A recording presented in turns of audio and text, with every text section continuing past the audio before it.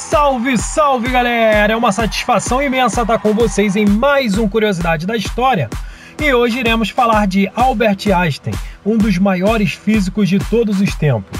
Eu sou Daniel Dudani e esse é o canal Planet Point. Uh, yeah. Bring you up. Yeah, come on. Albert Einstein nasceu em 14 de março de 1879 em Uterberg, na Alemanha. Filho de pais judeus, cresceu em uma família de classe média. Seu pai, Hermann Einstein, foi vendedor e engenheiro. Já sua mãe, Pauline Koch, cuidava de sua família. Ele também tinha uma irmã que se chamava Maja, dois anos mais nova. Aprendeu a falar apenas com 4 anos de idade e tinha sérios problemas com a formação de frases. Os médicos daquela época até apelidaram seu problema de Síndrome de Einstein.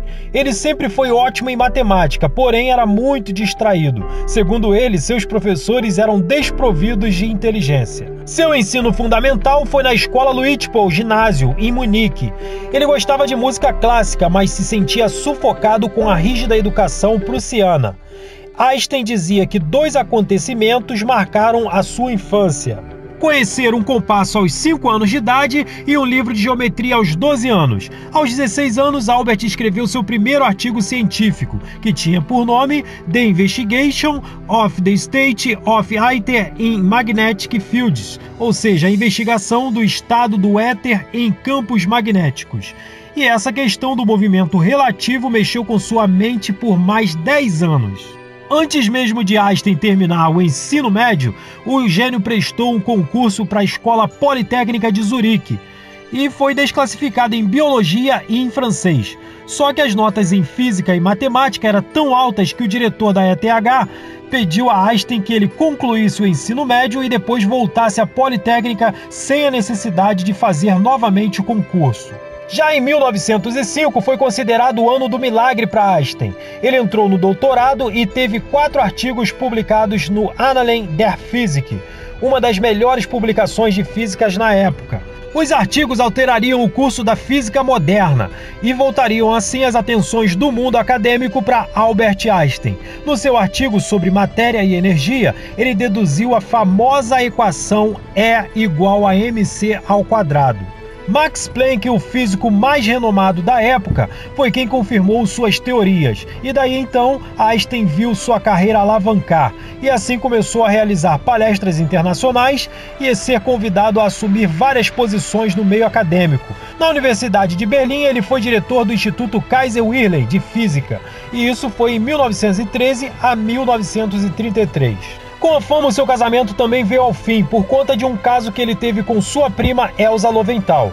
E com ela ele se casou mais tarde após se divorciar de Mileva, sua antiga esposa.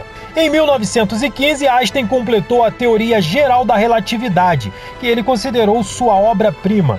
Já em 1921, ele recebeu o Prêmio Nobel de Física por sua explicação sobre o efeito fotoelétrico. Na década de 20, Albert lançou a nova ciência da cosmologia. Suas equações diziam que o universo era dinâmico, ora expandindo, ora contraindo. E em 1929, o astrônomo Edwin Hubble descobriu que realmente o universo estava expandindo, confirmando o trabalho de Einstein.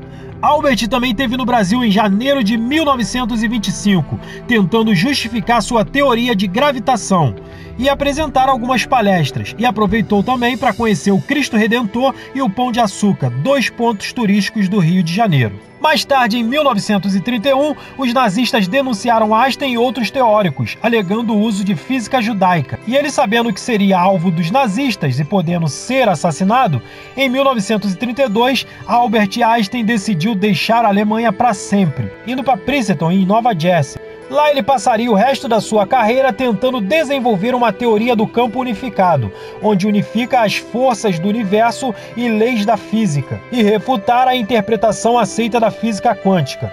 Após a Segunda Guerra Mundial, Einstein continuou a trabalhar em vários aspectos da teoria geral da relatividade, como o buraco da minhoca, as possíveis viagens no tempo, buracos negros, a criação do universo, entre outros. Só que ele resolveu se isolar do resto da comunidade de físicos, e em sua última década de vida, ele renunciou também à sua vida pública. Mas em 1955, enquanto se preparava para um discurso em comemoração ao aniversário em Israel, Einstein sofreu um aneurisma abdominal, uma hemorragia interna. Ele foi internado, mas recusou a cirurgia, alegando que já tinha vivido tudo o que podia viver. Ele morreu na manhã de 18 de abril de 1955, aos 76 anos. Durante a autópsia, Thomas Stolzhaver removeu o cérebro de Albert Einstein, sem a permissão da família, dizendo que era para preservação e estudos futuro. Ele agora está localizado no Universitário Centro Médico de Princeton. Tá aí a história de um dos maiores gênios da física de todos os tempos, Albert Einstein. Então vai deixando aí nos comentários logo a sua opinião, o que você achou sobre esse assunto. Bom, por hoje é só. Semana que vem tem muito mais. Lembrando que nossos vídeos agora sobem aqui no canal, às quartas em um minuto de conhecimento e aos sábados com muito mais curiosidades da história. Sempre às 19 horas, beleza? Você que ainda não se inscreveu no canal, se inscreve, ative o sininho para receber todas as novidades em primeira mão. Deixe o like de vocês, compartilhe com os amigos e siga o nosso canal nas redes sociais. É isso então, fiquem com Deus, a todos um abraço, beijo no coração e tamo junto!